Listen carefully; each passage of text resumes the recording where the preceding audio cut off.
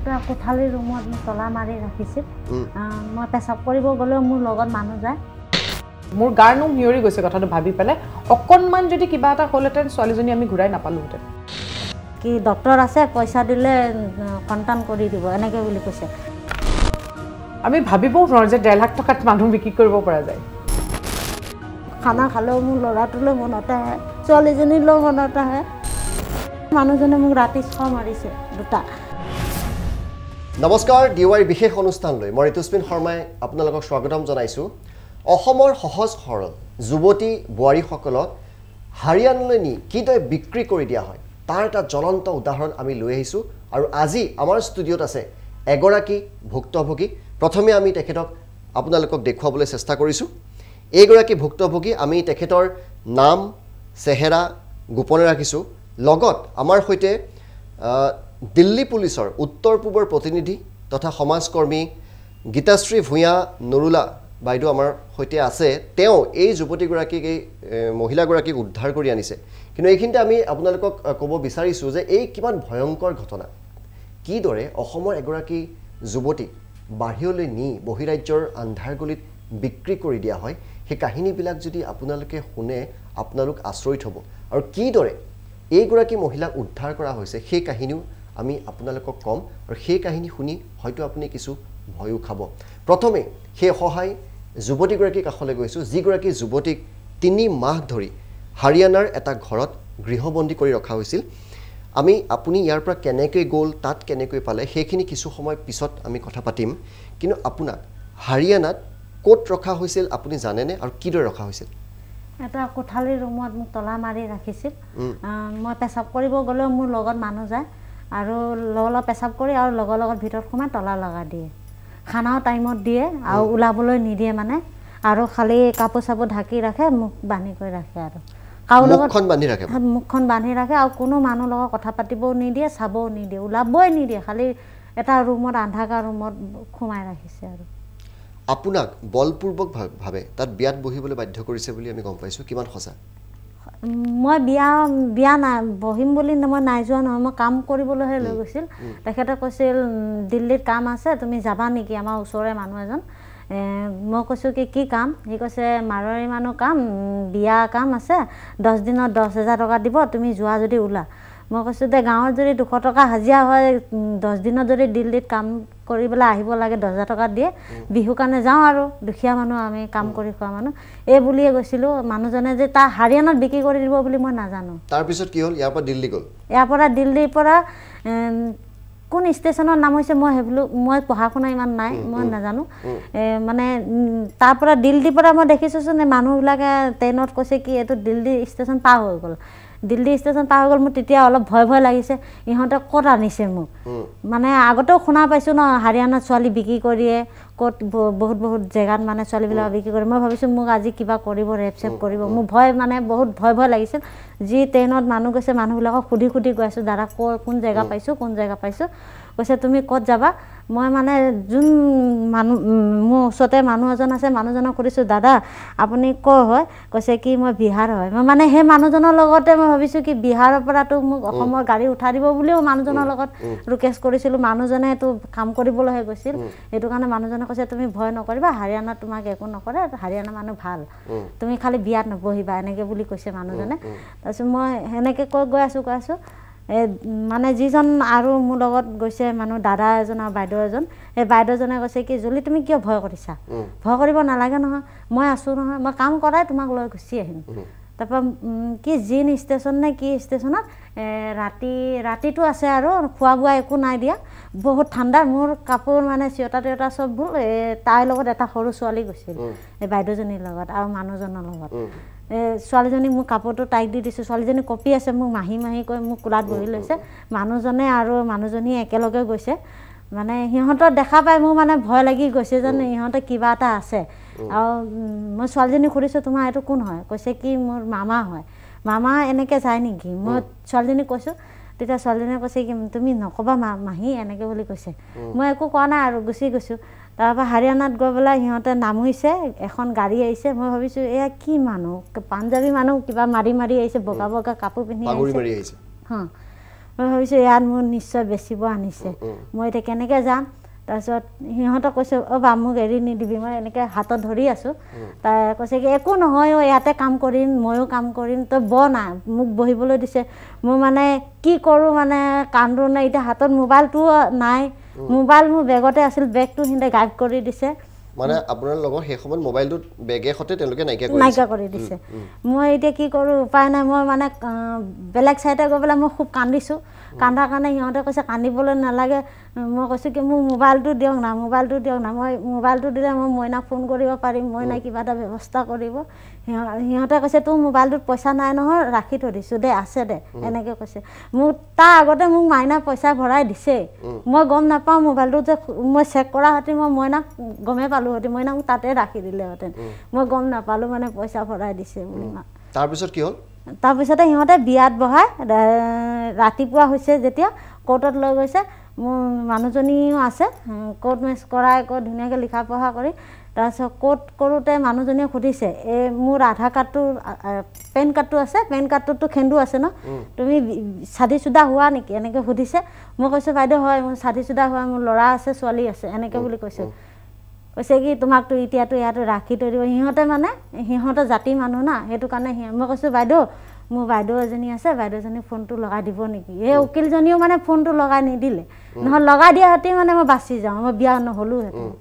এতিয়া বাইদেউজনী ফোনটো নিদিলে লগাই মই এতিয়া কি কৰিম উপায় নাই সিহঁতে মোক জবৰদস্তি কৰি ৰাখিছে আৰু এনেকৈ। মই বহুত চেষ্টা কৰিছোঁ ওলাই কি হ'ল আপোনাক? সিহঁতে মানে কি হ'ল মানে তাক বিয়া কৰাই দিছে আৰু সেন্দুৰ চেন্দুৰ পিন্ধাই। সেই সময়ত আপুনি কি ক'লে? মই কৈছোঁ মই বিয়া নবহোঁ। কৈছে কি নাই একো নহয় তোমাক আমি কিনি লৈছোঁ তুমি বিয়াত বহিব লাগিব। মোক মানে জবৰদস্তি কৰি বহাই দিছে এনেকৈ। বহাই দি তাৰপিছত হাতত মোক এটা হাতত ধৰি দিছে আৰু এটা মানুহ হাতত ধৰি কৈ এনেকৈ হোমগুৰিত বহাৰত কৈছে। মই কৈছোঁ মই একবাৰ বিয়া বহিছোঁ আৰু কেনেকৈ হোমগুৰিত যাম? ভগৱানৰ ওচৰত কেনেকৈ সাক্ষী কৰিম? মই নবহোঁ বিয়া নবহোঁ মই কান্দিছোঁ। কৈছে কান্দিবলৈ তুমি ৰণা মত ৰণা মত কৈ আছে? মই কৈছোঁ এই কি মানুহ? মই কোন দিগি পলামিত একো জেগাও চিনি নাপাওঁ। এইটো কাৰণে মানে জবৰদস্তি কৰাৰ কাৰণে বিয়াত বহি গৈছোঁ আৰু। তাৰপিছত কি হ'ল আপোনাৰ? তাৰপিছত মানে ৰুম এটা ৰুমলৈ লৈ গৈছে গাড়ীত লৈ গৈছে। সিহঁতে সেই মোক বিয়াত বহাৰ পিছতে সিহঁতে পলালে। যিসকলে আপোনাক লৈ গৈছিলে তেওঁলোক পলাই দিলে? পলাই দিলে। মোৰ বেগো লৈ পলাই দিছে। মোৰ বেগত ডেৰ লাখ টকা ল'লে? অঁ ডেৰ লাখ টকা লৈ লৈছে। এই যি ঘৰ মানুহত বিক্ৰী কৰিছে বুঢ়ীজনীয়ে মোক কৈছে। বুঢ়ীজনীক সেৱা কৰিব দিছে। তেতিয়া মই কৈছোঁ "উম, কিয় সেৱা কৰিব লাগে? মোকতো কাম কৰিব আনিছে মইতো বিয়া হোৱা নাই ন? কৈছে একো নহয় পাওঁ পাওঁ পকৰাও এচা কৈছে। মই তেতিয়া পাওঁ পকৰাইছোঁ। মানে কি কৰিম আৰু কোন দিগি যাম? ভয়তে মানে মই পাওঁ পকৰাইছোঁ আৰু। পাওঁ পকৰা কৈছে কি আপোনালোকৰ ইয়াত মইতো বিয়া হ'ব অহা নাই মই এতিয়া মোক যেনে তেনে মানে দিল দি গাড়ী উঠাই দিয়ক মই ঘৰত গুচি যাম এনেকৈ কৈছোঁ। কৈছে এতিয়া নহয় নহয় এতিয়া তোমাৰ বিয়া পাতিছোঁ তুমি যেতিয়া ল সন্তান হ'ব তেতিয়া তোমাক আমি নিজে ঘূৰাই লৈ আহিম এনেকৈ বুলি কৈছে আৰু। অঁ হয় দে মই ভাবি আছোঁ যেতিয়ালৈকে ৰাখে ৰাখক আৰু মই যাব পাৰোঁ আৰু এনেকৈ চেষ্টা কৰি আছোঁ। ধৰি লওক কালি খালি যিজন মানুহে মোক বিয়া কৰাইছে সেই মানুহজনে কালি চাবিটো মোৰ হাতত দি থৈ গৈছিল। তেখেতে আপুনি পলাই আহিলে। সেইখিনি কথা পাতিম। কিন্তু গীতাশ্ৰী ভূঞা নুৰুলা বাইদেউ আমাৰ সৈতে আছে। আপুনি দিল্লী আৰক্ষীৰ উত্তৰ পূৰ্বৰ প্ৰতিনিধি লগতে এগৰাকী সমাজকৰ্মীও। এই তেখেতক কেনেকৈ আপুনি উদ্ধাৰ কৰিলে? হয় কালি দুপৰীয়া মোলৈ এটা কল আহিছে গুৱাহাটীৰ পৰা এটা কল গৈছে যে ছোৱালী এজনী তেওঁৰ ঘৰতে আছিলে যাৰ ঘৰত তাই আছিলে আচলতে গুৱাহাটীত। তাই তেখেতে কল কৰিছে যে তাই মোৰ ঘৰৰ পৰা আজি তিনি মাহৰ পৰা তাই মিচিং মই কৈছোঁ মিচিং তেতিয়াহ'লে আপোনালোকে বিচৰা নাই নেকি? কৈছে আমি বিচাৰিছোঁ কিন্তু তাইক আমি কোনো ধৰণৰ কণ্টেক্ট কৰিব পৰা নাছিলোঁ। তাই ফোন নাই মানে তাই ফোনটো ছুইচ অফ তাৰপিছত মই কৈছোঁ তেন তেতিয়াহ'লে এতিয়া? তেতিয়া কৈছে যে তাই ঘপককৈ বোলে আজি ফোন কৰিছে। ফোন কৰি পেলাই কৈছে যে তাই হাৰিয়ানাৰ কোনোবা এটা জেগাৰ পৰা পলাই আহিছে। মই কৈছোঁ ক'ৰ পৰা ফোন কৰিলে তাই? মই সুধিছোঁ তেতিয়া তেতিয়া কৈছে যে তাই- পলাই আহিছে কাৰোবাৰ ঘৰত আছিলে তাই। পলাই আহি কোনোবা অ'টো চালক এজনৰ মোবাইলৰ পৰা ফোন কৰিছে। তো কৈছে যে তাইক যেনে তেনে আনিব লাগে। মই লগে লগে কৈছোঁ যে মোলৈ অ'টো চালকজনৰ নম্বৰটো পঠিয়াই দিয়ক। অ'টো চালকজনৰ নম্বৰটো পঠিয়াই দিয়াৰ পিছত মই কথা পাতিছোঁ অ'টো চালকজনক। তেওঁ কৈছে যে ঝিন বুলি কৈ কোনোবা এটা ষ্টেচন আছে। তাৰ পৰা ঝিন্দৰ পৰা আপোনাৰ বাহাদুৰগড়লৈকে বাছত উঠাই দিম বুলি। মই কৈছোঁ তাৰপিছত বাহাদুৰগড়ৰ পৰা কৈছে বোলে মই কণ্ডাক্টৰক কৈ দিম। তো সেইটোতো বহুত মানে ইট ৱাজ ভেৰি লাইক সেইটো এটা ৰিস্ক আমি ল'বই নোৱাৰোঁ কোনো ধৰণৰ। মই কৈছোঁ তেতিয়া ছোৱালীজনীৰ লগত মোক কথা পতাই দিয়ক এবাৰ। তাইৰ লগত কথা পাতি তাই কৈছে বা বাইদেউ মোৰ পিছা কৰি আছে মানুহ এজনে বাইকেদি অলৰেডি তো মই কৈছোঁ যেতিয়া এটা কাম কৰক আপুনি বাহাদুৰগড়লৈ যিহেতু বহাবই আপুনি মোক গাড়ীৰ নম্বৰটো দি দিয়ক। মোক গাড়ী নম্বৰটো দিলে তেখেতে অট' চালকজনে। গাড়ী নম্বৰটো দিয়াৰ লগে লগে মই বাহাদুৰগড় চিটি এছ এছ অ'লৈ ফোন কৰিছোঁ। চিটি এছ এছক কৈছোঁ যে আপোনাৰ টীমটো বাহাদুৰগড় বাছ ষ্টেণ্ডলৈ পঠাই দিয়ক। এনেকৈ ছোৱালী এজনী বহুত দিনৰ পৰা হেৰাই আছিলে আজি ঘপককৈ ওলাইছে আৰু তাই পলাই আহিছে। ইমিডিয়েটলি বাহাদুৰগড় চিটিৰ যিজন এছ এছ অ' তেখেতে নিজৰ টীমটো পঠাই দিছে।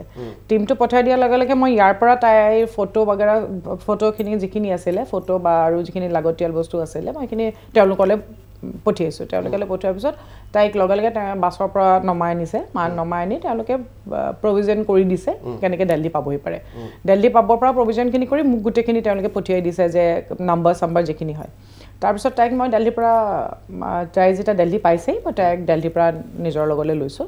তাৰপিছত তাইক মই সুধিছোঁ গোটেইখিনি কথা। তাই তেতিয়া মোক গোটেইখিনি কথা কৈছে যে মোৰ লগত এনেকুৱা হৈ আছিলে। আৰু মোক এনেকৈ লৈ আহিছিলে। মই কৈছোঁ তুমি কেনেকৈ আহি পালাহি? মানে দেলহিতো নহয় তাই হাৰিয়ানাত আছেগৈ গৈ পেলাই। আচৰিত কথা এটা কাৰণ আমাৰ অসমৰ পৰা ছোৱালী এজনী গৈ হাৰিয়ানা পোৱাটো বৰ ডাঙৰ কথা কাৰণ চিনি নাপায়। তাই কৈছে যে মোক লৈ অহা হৈছিল আৰু মোক বিক্ৰী কৰি দিয়া হৈছিলে ইয়াতে মই কৈছোঁ তুমি কেনেকৈ গম পাইছা? কৈছে কাৰণ যেতিয়াই বোলে মই ঘৰলৈ যাওঁ বুলি কয় তেতিয়া মোক কয় যে তোমাকতো ডেৰ লাখ টকা দি আমি কিনি আনিছোঁ। তাই ঘৰৰ কাষৰে কোনোবা এজন মানুহে তাইক বোলে বিক্ৰী কৰি দিছিল তাত। তো মই ইমিডিয়েটলি তাৰপিছত তাই ইয়াৰ প্ৰশাসনৰ লগতো যোগাযোগ কৰিলোঁ। তাৰপিছত ইয়াত এটা কমপ্লেইন লগে লগে এটা কমপ্লেইন লঞ্চ কৰা হ'ল। এফ আই আৰো হৈ গৈছে লগে লগে ইমিডিয়েট আৰু ইমিডিয়েটলি তেওঁলোকে একশ্যনো লৈছে। যিজনৰ যিজন মানুহৰ বিষয়ে তেখেতে কৈছিলে তাত হয় যিজনৰ থ্ৰ' দি গৈছিলে তাই। যোনে মানে কামৰ কাৰণে পঠিয়াইছিলে কামৰ মিছা হেৰি দি পেলাই পঠিয়াইছিলে। তেওঁ ঘৰলৈ গ'ল কিন্তু তেওঁ পলাতক এতিয়া বৰ্তমান। কিন্তু বহুত সোনকালে পোৱা যাব কাৰণ ইমান সহজ নহয় পলাই ফুৰাটো। কি কাৰণে এইটো কাম কৰে? বলপূৰ্বকভাৱে তেওঁলোকে কিয় বিয়া পাতে? হাৰিয়ানাত প্ৰায় এই ধৰণৰ ঘটনা শুনা যায়। হাৰিয়ানাত ছোৱালীৰ সংখ্যাটো কম। ছোৱালীৰ মহিলাৰ সংখ্যাটো যিহেতু কম সেইটো কাৰণে তেওঁলোকে বাহিৰৰ পৰা নি পেলাই। বিয়া কৰে এনেকৈ কিনি পেলাই বিয়া কৰে। আৰু অসম বা উত্তৰ পূৰ্বৰ এনেকুৱা ছোৱালী বহুত আছে হাৰিয়ানাত। হয় তেওঁলোকৰ কাৰণ অসমৰ বা উত্তৰ পূৰ্বৰ ল'ৰা- ছোৱালীখিনি বিৰাট সহজ সৰল। তেওঁলোক বিৰাট সহজ সৰল কাৰণে সুবি তেওঁলোকে ভাল পায় মানে। সহজ সৰল ছোৱালী কাৰণ তেওঁলোক গাঁৱৰ মানুহ। ঘৰৰ কামৰ কাৰণে নিয়ে। বিয়া পাতি পেলাই ঘৰৰ কাম কৰি পেলাই থাকাকৈ নিয়ে। তেওঁলোকে তেওঁলোকে এনেকুৱা ছোৱালী নিবিচাৰে যোনে চাকৰি কৰিব বা বেলেগ কিবা যাব। সহজ সৰল আৰু দুখীয়া মানুহৰ ঘৰৰ ছোৱালী বিচাৰি পেলাই। The target the poor poor and uneducated girls. তেওঁলোকৰ টাৰ্গেট সদায় সেইটো থাকে। আপোনাৰ ওচৰলৈ মই আকৌ আহিম। হয়। আপুনি কেনেকৈ পলালে সেই কথাখিনি ক'ব নেকি? যিহেতু আপুনি কৈছে আপোনাৰ মুখ বান্ধি ৰাখে আৰু আহ, আপোনাক বাহিৰলৈ যাবলৈ নিদিয়ে। তেতিয়া কি বুলি কয় আপুনি এষাৰ কথা এই শ্ব'টো আৰম্ভ হোৱাৰ পূৰ্বে মোক কৈছিলে যে বাহিৰলৈ মোক যাব নিদিয়ে।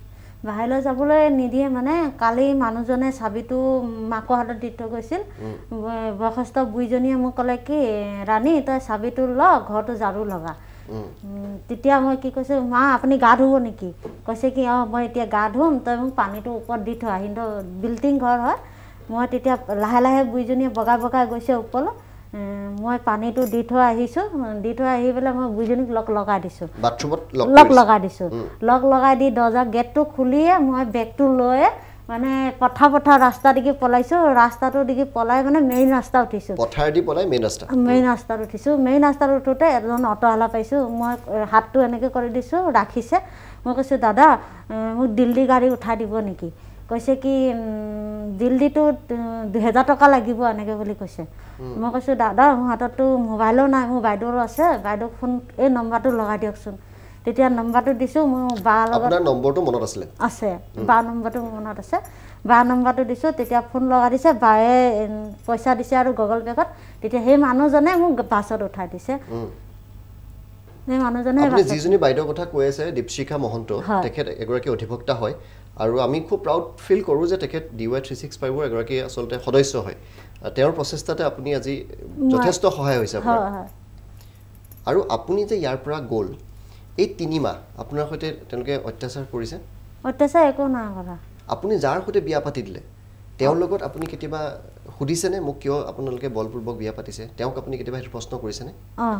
মই সুধিছোঁ কৈছে কি আমাৰ ইয়াত ছোৱালী নাপায় নহয়। মই কৈছোঁ মইতো বিয়া হোৱা ছোৱালী মোৰতো সন্তানো নহয়। মইতো কি কৰিম? সি কৈছে কি নাই তোমাৰ সন্তান হ'ব নহয়। আজিকালি কি ডক্তৰ আছে পইচা দিলে সন্তান কৰি দিব এনেকৈ বুলি কৈছে।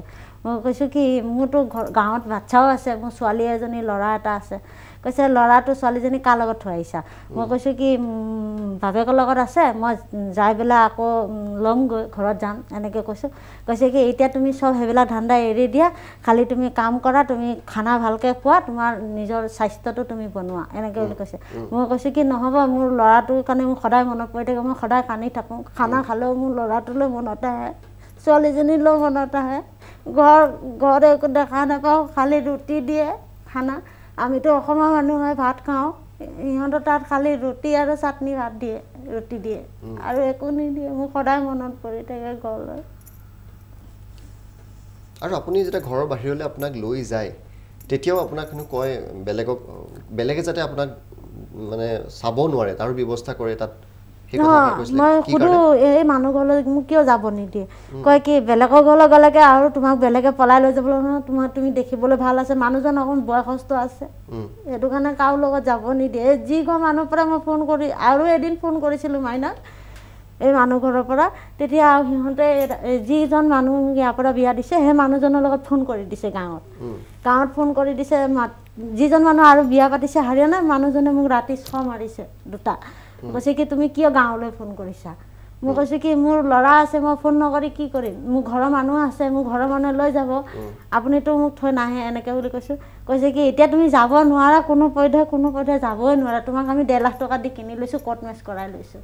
এনেকৈ বুলি কৈছে। মই কৈছোঁ কি মই পুলিচৰ থানাত যাম। কৈছে থানাত গৈ তুমি কি কৰিবা? মই কৈছোঁ থানাত গৈ পেলাই মই কেছ দিম মইতো বিবাহিত হয়। কৈছে কি নাই এতিয়া তোমাক আমি কৰ্ট কৰি লৈছোঁ তুমি এয়া কাগজ দেখিছা নহয় কাগজ দুখন মই চুৰ কৰি পলাই লৈ আহিছোঁ। মোৰ চব ডকুমেণ্টছ ৰাখি দিছে সিহঁতে। আৰু একো ডকুমেণ্টছ হাতত অহা নাই এতিয়া। গীতাশ্ৰী ভূঞা বাইদেউ আচলতে এইটো বহুত দিনৰ পৰাইতো হৈয়ে আছে। হয়। বহুত বছৰ বছৰ আমি এইটো শুনি থাকোঁ আমিও বাতৰি কৰোঁ অসম আৰক্ষীয়েও বহু যুৱতী বা মহিলাক উদ্ধাৰ কৰে। হয়। ইয়াৰ মেইন মানে কাৰণটো ক'ত বুলি ভাবে? কি কৰিব লাগিব? ব্যৱস্থা এইটোতো বন্ধ কৰাব লাগিব ধৰক। বন্ধ কৰিব লাগিব। চবতকৈ প্ৰথমতেতো আমি সৰু সৰু জেগাবোৰ চাই পেলাই কাউন্সিলিঙৰ ষ্টাৰ্ট কৰিব লাগে। মহিলাসকলৰ ছোৱালীবিলাকৰ গাভৰু ছোৱালীবিলাকৰ। আমি এটা কাউন্সিলিং জেগা জেগা সৰু সৰু জেগাবিলাক লৈ পেলাই পকেটছবিলাক লৈ পেলাই আমি কাউন্সিলিং ষ্টাৰ্ট কৰিব লাগে। আৰু এডুকেশ্যন ছিষ্টেমটো অকণমান ঠিক কৰিব লাগে এডুকেট কৰিব লাগে তাহাঁতক। কিতাপী নলেজটোৰ কথা মই কোৱা নাই এডুকেট কৰা যে বহুত বস্তু লৈ পেলাই যে বাহিৰৰ দুনিয়াখন কেনেকুৱা তেওঁলোকক সেইটো বস্তুটো আমি এডুকেট কৰিব লাগে। কাৰণ তেওঁলোকক কি প্ৰলোভন দি নিয়া হয়? যে চাকৰি দিম তহঁতক। তহঁতি ভাল এটা এমাউণ্টৰ চেলাৰী পাবি। সেইটো প্ৰলোভনেৰে দহ। হাজাৰ টকাই বহুত। অঁ তাকে ক'লোঁ মই দহ হাজাৰ টকা বহুত। সেই মানে দহ হাজাৰ টকাটো কিয় বহুত হ'বলৈ পালে তেওঁলোকলৈ? এডুকেশ্যন এটা থকাহেঁতেন বা তেওঁলোকৰ যদি তেওঁলোকে বুজি পালেহেঁতেন বস্তুটো তো দহ হাজাৰ টকাটো তেওঁলোকৰ কাৰণে বহুত ডাঙৰ বস্তু নহয় নহ'লহেঁতেন। আজি দহ হাজাৰ টকাটো তেওঁলোকৰ কাৰণে কিয় ডাঙৰ বস্তু হৈ পৰিছে? তো আমাৰ কাউন্সিলিং এটা ৰখাটো বিৰাটেই দৰকাৰ। মানে প্ৰত্যেকখন জেগাতে কৈছোঁ মই আজি অসমৰ এটা কোণত নকওঁ প্ৰত্যেকটো কোণাতে। আজি ইয়াত হৈছে এইটো ঘটনা অসমৰ প্ৰত্যেকটো কোণাতে হৈ থাকে অসম বুলি নহয় এণ্টায়াৰ নৰ্থ ইষ্টৰ প্ৰত্যেকটো কোণাতে হৈ থাকে এনেকুৱা ধৰণৰ ঘটনাবিলাক। তো ছোৱালীবিলাক বহুত ছোৱালীটো নিজেই এতিয়া তাই নিজেই এগ্ৰি কৰি গৈছে যে কাম কৰিবলৈ যাম। তাই নাজানে যে তাইক বিয়া দিবলৈ নিছে বা বিয়া কৰাবলৈ নিছে। কিন্তু কাম কৰিবলৈতো তাই নিজে আগবাঢ়ি গৈছে। তাইক কিয় কাম কৰিবলৈ নিজে আগবাঢ়ি গৈছে? ইয়াতে যদি কাম কৰিব পৰা সুবিধাখিনি থাকিলেহেঁতেন তাই যদি আৰ্নিং প্ৰচেছটো ইয়াতে ভাল হ'লহেঁতেন তাইতো কেতিয়াও নাযায়। আজি এই মহিলাগৰাকীয়ে যদি এই যিগৰাকী মাইনা বুলি তেওঁ কৈ আছে তেওঁৰ যদি ফোন নম্বৰটো তেওঁৰ মনত নাথাকিলেহেঁতেন তেন্তে বিপদত পৰিলেহেঁতেন। বিপদত পৰিলেহেঁতেন মানে মোৰ এতিয়াও গাৰ নোম সিঁয়ৰি গৈছে কথাটো ভাবি মই নাজানো মই কালি তাইক কেনেকৈ বচাই আনিছোঁ। মই নিজে নাজানো মানে মোৰ গাৰ নোম সিঁয়ৰি গৈছে কথাটো ভাবি পেলাই অকণমান যদি কিবা এটা হ'লহেঁতেন ছোৱালীজনী আমি ঘূৰাই নাপালোহেঁতেন। মোক পিছা কৰিছেতো সিহঁত। কি কৰে? তেওঁলোকে কি কৰে? মানে আগত আপুনি যিহেতু দিল্লী আৰক্ষীৰ সৈতে জড়িত হয়। কি আগতো এনেকুৱা উদাহৰণ বহুত ধৰণৰ কেছ আহে। এতিয়া মই তেওঁলোকে পাৰ্টিকুলাৰলি তেওঁলোক বুলি ক'ব নোৱাৰোঁ কিন্তু বহুত ধৰণৰ এনেকুৱা কেছ আহি থাকে য'ত ৰেপ কেছেছ বহুত বাঢ়ি যায় কোনোবাই মাৰি পেলায়। বাহিৰলৈ নি বহুত ধৰণৰ কথা হয় আমাৰ ছোৱালীবিলাকৰ লগত। আমাৰ ছোৱালীবোৰ যিহেতু অজলা বিৰাট সাধাৰণ ছোৱালী। আমাৰ নৰ্থ ইষ্টৰ ছোৱালীবোৰ বিৰাট সাধাৰণ ছোৱালী। তেওঁলোকে বহুত কথা বুজি নাপায়। তো সেই তেওঁলোকৰ লগত বহুত ধৰণৰ এনেকুৱা ঘটনা ঘটে যিবিলাক আমি ভাবিবও নোৱাৰোঁ কল্পনাও কৰিব নোৱাৰোঁ মানে। তেনেকুৱা ধৰণৰ ঘটনা কিছুমান ঘটি থাকে হয়তো আপোনাৰ সৈতে যেতিয়া গৈছিলে আপুনি জানেনে আৰু কোনোবা গৈছে? তেনেকুৱা কিবা তথ্য আপোনাৰ আছেনে? শুনাত মতেতো মানুহজনে আৰু ছোৱালী আগত দিছে বুলি কৈছিল। যেতিয়া মই ফোন কৰিছোঁ মোৰ হাজবেণ্ডৰ লগত ৰাতি যোৱা ৰাতি পুলিচ গৈছিল তেখেতক ধৰিবলৈ কাৰণে।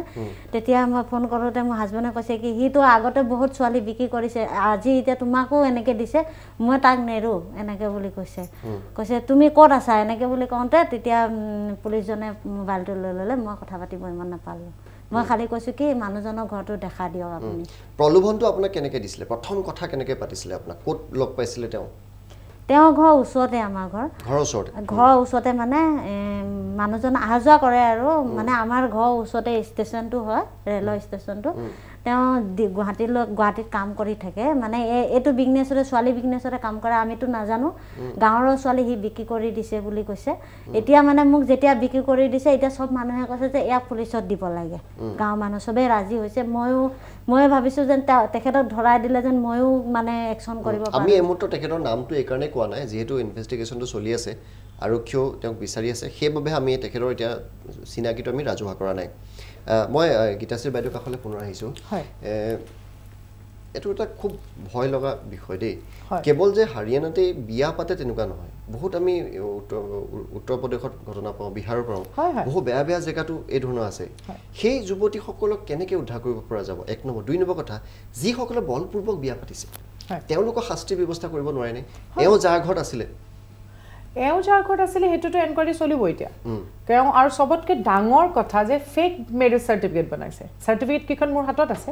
এইখন ফেক যোৱা বছৰৰ চৈধ্য ফেব্ৰুৱাৰী দুহেজাৰ বাইছৰ আপোনাৰ মেৰেজ চাৰ্টিফিকেট আৰু তেওঁ গৈছে আপোনাৰ ডিচেম্বৰ নে জানুৱাৰীত।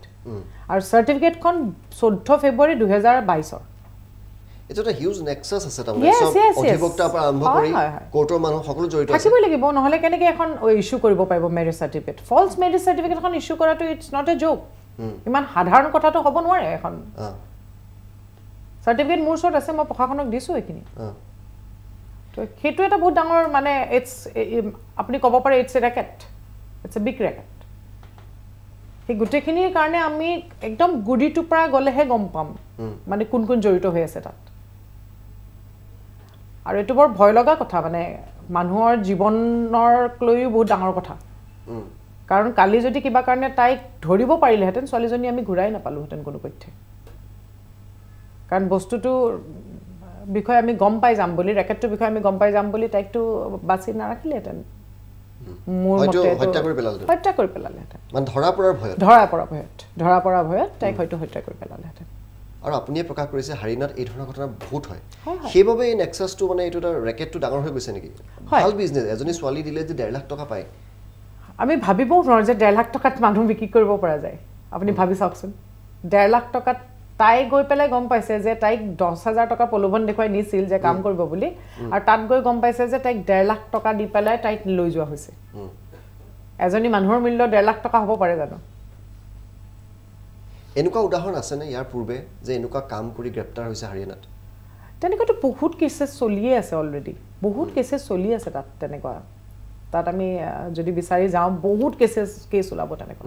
বহুত বস্তুটো আমাৰ চকুলে নাহে। কালি তাই কিবা কপালেই ভাল আছিল চাগে যে আমাৰ হাতত আহিলে তাই। তেনেকুৱাতো বহুত ছোৱালী এনেকুৱা আছে। এতিয়ালৈকে আমি গমেই নাপাওঁ কি চলি আছে। ক'ত আছে? ছোৱালীটো মিচিং কত বছৰৰ পৰা বিচাৰিয়ে নাপায়।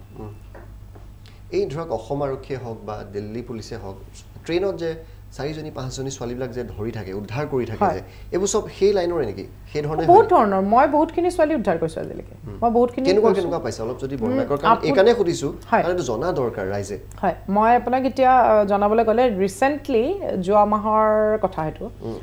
মোলৈ ফোন এটা আহিছে। ইয়াৰে এখন পুলিচ ষ্টেচনৰ পৰা এটা পুলিচ ষ্টেচনৰ পৰা ফোন আহিছে যে ট্ৰেইনত ছোৱালী দুজনী সৰু ছোৱালী দুজনী দেখা গৈছে। কোনে ফোন কৰিলে? সেই আহ, ডবাটোতে গৈ থকা যিজন মানুহ আছিলে বয়োজ্যেষ্ঠ মানুহ এজন আছিলে তেওঁৰ ছোৱালী আৰু তেওঁ ট্ৰেভেল কৰি আছিলে সেই বয়োজ্যেষ্ঠ মানুহজনে ছোৱালী দুজনী দেখি ডাউট কৰি পেলাই অ' চিজনলৈ ফোন কৰিলে। অকণমান কথা সুধি মেলি তোমালোক ক'ত গৈ আছা কি কথা? তাৰপিছত গম পালে যে তেওঁলোক ক'ৰ? সেই থানাৰ অচিজনে মোলৈ ফোন কৰিলে যে বাইদেউ এইখন এইটো এইখন ট্ৰেইনত ইমান সময়ত ছোৱালী দুজনী পাবগৈ যেনে তেনে গৈ পেলাই আপুনি চাব লাগে আপোনালোকে। আমাৰ তাত দেলহিত এটা আছে special police unit for north east region সেই particular special police unit for north east ৰিজনটো অকল নৰ্থ ইষ্টৰ কাৰণেই গঠন কৰা হৈছে। সেইটো আমাৰ নডেল অফিচাৰ হিবুতা মাংচা তেওঁলোকে নিজেই ছাৰে নিজেই চায় গোটেইখিনি বেছিভাগ। আৰু তাত আমাৰ গোটেইখিনি ষ্টাফ আছে। ত' ষ্টাফক লৈ পেলাই গৈ পেলাই ট্ৰেইন ষ্টেচন পাইছোগৈ মই। ট্ৰেইন ষ্টেচন পাই পেলাই দেখিছোঁ যে দুজনী ছোৱালী সৰু ছোৱালী। They are not even like thirteen fourteen ইয়েৰ্ছৰ হ'ব। ছোৱালী দুজনী পাইছে। তাৰপিছত ছোৱালী দুজনী পোৱাৰ লগে লগে আমি ওচৰৰ পুলিচ ষ্টেচনটোত লৈ গৈছোঁ। নিউ দিল্লী ৰেলৱে ষ্টেচনৰ পুলিচ ষ্টেচনত লৈ গৈছোঁ। ৰেলৱে ষ্টেচনত লৈ যাই পেলাই সুধিছোঁ যে কোনে আনিছিলে? তাতে কৈছে বোলে আমি ঘৰৰ পৰা পলাই আহিছোঁ। তেওঁলোকে নকয় আমাক যে তেওঁলোকক কোনে আনিছে বা কোনে মাতি নিছে। বহুতৰ ক্ষেত্ৰত আমাৰ বহুত দিগদাৰ হয় কাৰণ তাহাঁতি তেওঁলোকে যেতিয়া নকয় তেতিয়া আমি কেনেকৈ হেল্প কৰিম? এনেকুৱা ধৰণৰ প্ৰলোভন কিছুমান দি থোৱা থাকে যে মুখখন খুলি দিলে যেনে তেওঁলোক বিপদত পৰিব। লোকচান হ'ব। বিপদত পৰিব সেইটো হয়। তো সেইটো এটা আমাৰ কাৰণে বৰ ডাঙৰ ঘটনা হয়। আমি সেইটো সময়ত হেল্প কৰিব বিচাৰিও হেল্প কৰিব নোৱাৰোঁ। সেই তেনেকুৱা হয়। তেতিয়া তাহাঁতক ইয়াৰ পৰা মই ক'লোঁ যে ঠিক আছে আমি তেতিয়াহ'লে চেল্টাৰ হোমত ৰাখিব লাগিব। কাৰণ চেল্টাৰ সৰু ছোৱালী যেতিয়া চেল্টাৰ হোমৰ ব্যৱস্থাই কৰিব লাগিব। পুলিচ ষ্টেচনৰ থ্ৰু দি আমি চেল্টাৰ হোমৰ ব্যৱস্থা কৰিছোঁ। চেল্টাৰ হোমত থোৱাৰ পিছত ইয়াৰ পৰা গোটেই অসম পুলিচৰ পৰা গৈছে। আপোনাৰ গৈ পেলাই তাৰ ছোৱালীকেইজনী হেণ্ড অভাৰ লৈছে আমাৰ পৰা। লৈ পেলাই লৈ আহিছে। কিন্তু তেওঁলোকৰ মতে যে বহুত মানে তেওঁলোকে এনেকৈ কথা কয় যে আপুনি এবাৰ এটা কথা ক'ব এবাৰ এটা কথা ক'ব আপুনি ধৰিবই নোৱাৰিব যে ভুল কাৰ গাত। মানে ব্ৰেইনটো ৱাছ ব্ৰেইনটো ৱাছ কৰি দিয়া যায়। ব্ৰেইনটো এনেকুৱা কৰি দিয়া যায় গম পাবি মানে তহঁতি ঘূৰি আহিলেও ইয়াত আহিও নাবাচিবি তহঁতি। এনেকুৱা ধৰণৰ কিছুমান কথা। হয় ভয় খুৱাই নহয় খুব লোভ হয়। দিছে। ব- সেই দুটাই হয়। হয় ভয় খুৱাই নহয় খুব লোভ দিয়া যায়। আৰু বেছিভাগ মোৰ মতে ভয় খুওৱাও যায় আৰু লোভটোতো থাকেই। কাৰণ ইয়াতকৈ তাত বেছি ঘটিব পাৰিব বুলি লোভত নিয়ে। আৰু ভয়টোতো সাংঘাতিক ভয় খুওৱা যায় যে তহঁতি ইয়ালৈ ঘূৰি আহিলেও তহঁতক মাৰি পেলাম ইয়াত এনেকুৱা ধৰণৰ কথা কৈ পেলাই। বহুত বহুত ধন্যবাদ দুয়োজনকে জনাইছোঁ। আৰু আমাৰ অসমৰ ফালৰ পৰা দিল্লী পুলিচক যথেষ্ট ধন্যবাদ যে খুব ভাল কাম কৰি আছে এইটো ক্ষেত্ৰত। আগতো আমি উদাহৰণ পাইছোঁ। আগলৈও আপোনালোকে এই ধৰণে এখন যুঁজ চলাই যাওক। যিমান পাৰে আপোনালোকে উদ্ধাৰ কাৰ্য চলাওক। আৰু এইখিনিতে আমি অনুষ্ঠানৰ পৰা বিদায় ল'ম।